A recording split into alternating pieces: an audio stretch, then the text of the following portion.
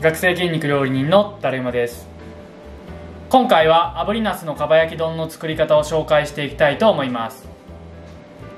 甘辛いタレでじっくり煮込んだなすは驚くほど柔らかくとろけるような食感がやみつきになります。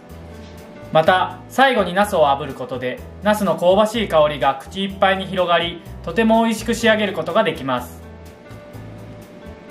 とても簡単で満足感のある一品ですのでナスが出回るこの時期にぜひ作ってみてくだ。さいリラックス。それでは早速作っていきマッチョ